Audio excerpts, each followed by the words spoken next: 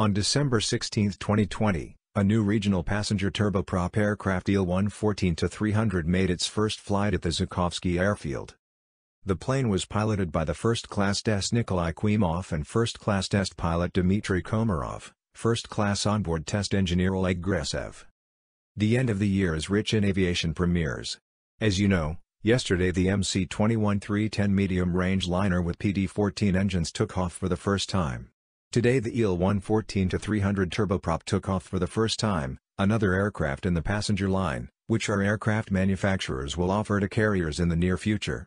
The new aircraft is especially relevant for our country, it is not picky about the level of airfield equipment, it is adapted for operation in the harsh conditions of the north, Siberia, the Far East, and due to the optimal cabin capacity it can become the basic vehicle for the development of regional transportation. In 2022, UAC plans to complete the certification of the Il-114-300, and from 2023, to begin serial deliveries, said Sergei Kimzov, General Director of Rostec State Corporation.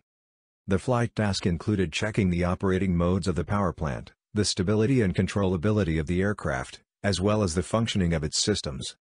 The first flight of the IL-114-300 is the result of the colossal work of tens of thousands of people, scientists, engineers, specialists, working in the design bureau and at the plants of the United Aircraft Corporation, at the enterprises of our suppliers and partners.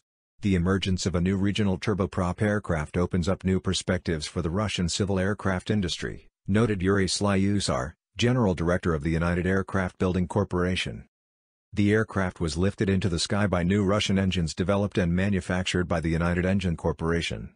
The turboprop engine was created at the St. Petersburg Enterprise U-8 Klimov. The new engine has a takeoff power of up to 3100 HP.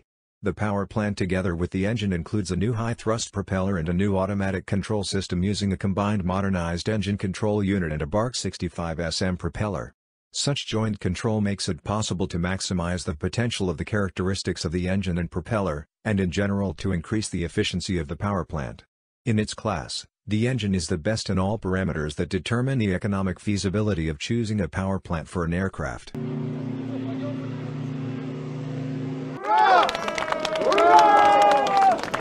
Поздравляю вас. Здорово, молодцы. С днем рождения. И с днем рождения. Подарок тебе Поздравляю. такой сделали, серьезно. Да. Спасибо, Николай Иванович, за решение. впечатление Выполнил. Как машина? Как машина Такая машина. Замечательно. Прекрасно. Легкая, маневренная. Мы шли на высоте 120 метров. Мгм. Выше не стали подниматься, облачность 120. Ну да. Вот, и машина без проблем. Управляется. И скорость небольшая. Всего скорость там 200 километров в час. Закрылки 20. Все включено, все работает. Здравия желаю. Разгон.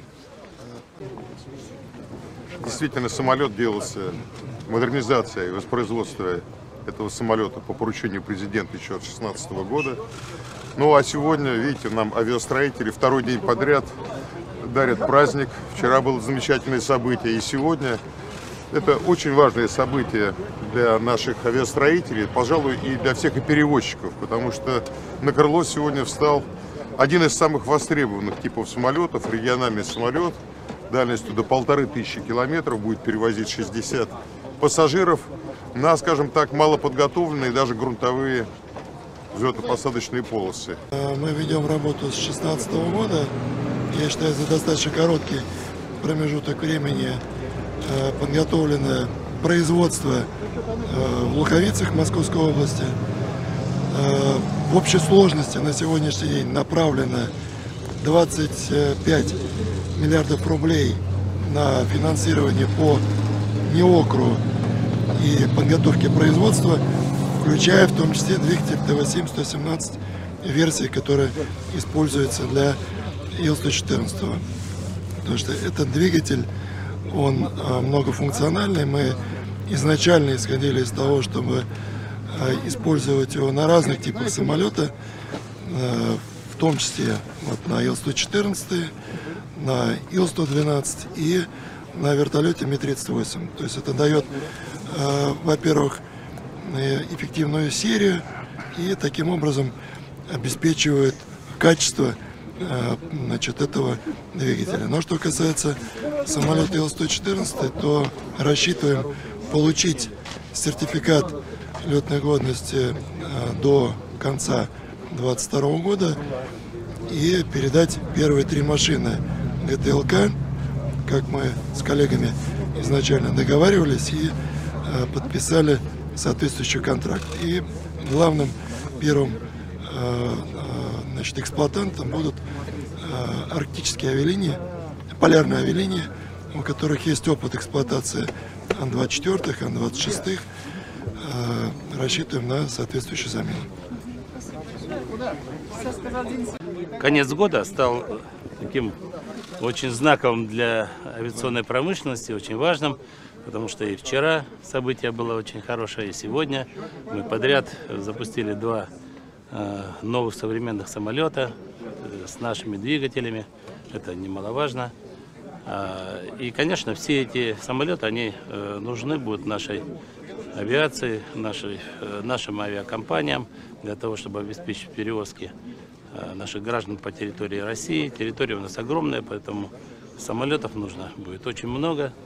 Самолет создается годами, десятилетиями, э, делается задел, и после этого только с годами, с годами потом появляются новые современные материалы, новые двигатели, новые агрегаты, новая авионика. И здесь то же самое. Вот за эти годы, с момента его э, задумки, с момента его, так сказать, начала разработки, прошло немало времени, и вот сегодня вот этот красавец самолет появился. А, Мы же тоже сейчас э, занимаемся разработками, мы не стоим на месте, занимаемся разработками новых перспективных самолетов, которые, может быть, возне- будут построены ну, через десятилетия, А, но база должна быть, научная база должна быть, и э, наши конструктора, наши инженеры, рабочие, они работают над тем, чтобы наша авиация была ну, не, не- не хуже, а я бы сказал даже лучше, чем зарубежная. Великолепная машина. Вот погода сложная, и она показала себя очень надежно, просто, вот, маневренная, очень энерговооруженная, современная. Поэтому, собственно, полет и состоялся.